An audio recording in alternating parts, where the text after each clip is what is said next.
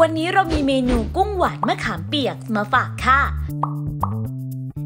ใส่น้ำมันพืชลงในภาชนะตั้งไฟพอร้อน ใส่หอมแดงซอยลงผัดจนมีกลิ่นหอม ปรุงรสด้วยน้ำมะขามเปียกเข้มข้นตราเนเจอร์เทส